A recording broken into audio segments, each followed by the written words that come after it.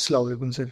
वालेकुम अस्सलाम। Sir recently आपने कहा कि आपको गालियाँ पड़ती हैं एंड यू स्माइल सॉरी क्या होती है? आपको गालियाँ पड़ती हैं and you smile is lots of people जो आपके खिलाफ है ठीक है?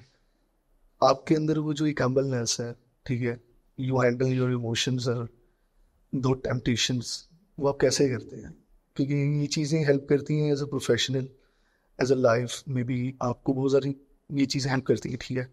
जब तक आप हम्बल नहीं होते, आप बहुत कंफर्टेबल हो के किसी को बहुत नॉर्मल हो के जब तक बात नहीं करते ना तो लॉट्स ऑफ़ थिंग्स आप नहीं कर सकते। ठीक है? तो वो आप कैसे करते हैं?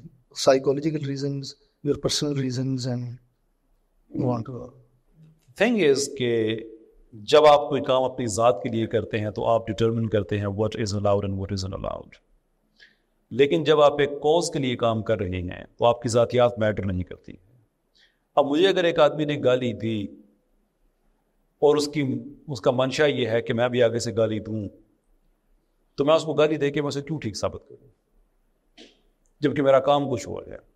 अरे यूके में एक ट्रेनिंग कोर्स होता था ब्रिटिश फौजियों के लिए एमओडी जो वहाँ के, जो मिनिस्ट्री ऑफ़ डिफेंस वो जब उनके फौजी वहाँ पे फौज सिविलियंस के साथ बहुत काम करती है, जो पुलों की मुरम्मत हो गई और कोई सैलाब आ गया और वहाँ पे लोगों की मदद, इस तरह के कॉल्स चलते रहते हैं। अच्छा फौज को सिविलियंस के साथ काम करने में बड़ा मसला होता है। सारी दुनिया में फौज का एक मिजाज है ना, कि वहाँ पे आप ये काम करो यस सर एट बेस्ट आप ये पूछ सकते हैं, कैसे? क्यों डजन एग्जिस्ट तो वो प्रॉब्लम होता था कि यूके में है ना कि इट्स फ्री कंट्री तो मिसाल के तौर पे कहीं सैलाब आया हुआ है, वहाँ पे छोटी सी उनकी वो फौज गई है और पुल वगैरह मरम्मत कर रहे हैं तो लोगों से उन्होंने कहा, पीछे हो जाओ। लोग आगे से कहते हैं वाई तो फौजी के सिस्टम में नहीं है वाई क्या होता है भैया? वो गुस्से कर जाते थे। तो फिर वो ऐसे उनको ट्रेनिंग कोर्स में भेजे थे, जिनमें साइकोलॉजी का उनको बहुत बहुत पढ़ाया जाता था, कि this is how you deal with civilians तो उसमें मुझे याद है, हमें कोर्स हमारे कोर्स होता था जो हम पढ़ाते थे कि इज़ इट अबाउट यू और is it about the system तो उसमें जो एनर्जी होती थी कि लुक अगर आपने वर्दी नहीं पहनी हुई और आप आ, किसी के रास्ते में भी नहीं आए हुए। तो क्या चलते फिरते लोग आपको गालियाँ देंगे क्या? ऑब्वियसली नॉट तो दी ओनली रीजन वो आपको गाली दे रहे हैं इसलिए कि आप एक जॉब कर रहे हैं और आपकी एक वर्दी है। अब जब को वो आपको गाली दे रहे हैं तो वो गाली आपकी वर्दी को दे रहे हैं आपकी जॉब को दे रहे हैं। ना उसकी माँ है ना उसकी बहन है। आप तो एक आयरन मैन है अपने सूट के अंदर हैं। वो गाली आपके सूट को पड़ रही है। It doesn't come to you अगर आप उस लेवल पे रिस्पॉन्ड करते हैं तो सबसे पहले आपको एक्सेप्ट करना पड़ेगा कि ये मेरी और इसकी जंग है। मैंने कहा ना, बहुत से लोग मुसलमान हुए, अल्हम्दुलिल्लाह। जो सबसे पहला बंदा था ना, जिसने लाइव शहादा पढ़ा, मुझे बहुत गालियाँ देता था। बहुत ज़्यादा। जानबूझ के मुझे तंग करने के लिए डॉक्टर परवेज खुद साहब की डीपी लगा के आता था, उसे पता था कि मेरा उनसे इख्तलाफ है। जानबूझ के। बहुत गालियाँ देता था। फेसबुक लाइव पे थे उस वक्त हम। हर सैटरडे को मैं लाइव होता हूँ। पहले फेसबुक और यूट्यूब दोनों पे अब सब यूट्यूब पे। ये कहता है कि मैंने उसको कॉल उसकी रिसीव की लाइव और मैं तैयार था कि जरा फिर काम स्टार्ट होने लगा है। ये कहता है कैसर भाई? अंकल जी, मेरी बस हो गई है। कहा, यार, मेरी गालियाँ खा के बस नहीं हुई तो आपकी दे के बस हो गई है। क्या हुआ है ऐसा? मैं done. I'm done with all. this.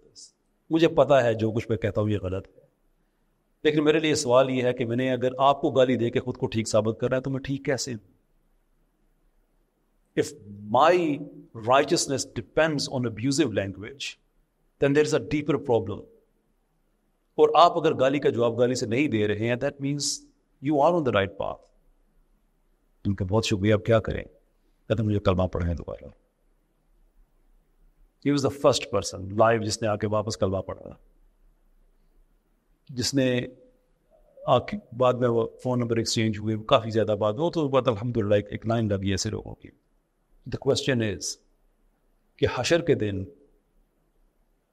what is it that I should be looking for कि एक बंदा वहाँ पे अल्लाह ताला से कहे कि, अल्लाह तूने इसको वो नॉलेज खैरात में दे दिया था, गदा में दे दिया था जो तूने मुझे नहीं दिया। और इसने उसका यूज़ ये किया था कि इसने मुझे गालियाँ दे के तुझसे दूर किया था या ऐसे उस नॉलेज को यूज़ करके गालियाँ खा के मुझे तेरे पास लेके आया और आज मैं इसके लिए गवाही देता हूँ कि he did that what should I go for? Particularly when it's not war. तो फिर मैं गाली खा के मैं क्यों कहूँ कि नहीं, मैं और आजकल जितनी पढ़ रही हैं I should admire a lot of them क्योंकि सिर्फ़ गाली नहीं होती, गाली की क्वालिटी भी होती है। तो lot of them are so creative that you think and अगर इस क्रिएटिविटी को कहीं और यूज़ करो, तुम आर्टिस्ट हो. But this is this is how it goes.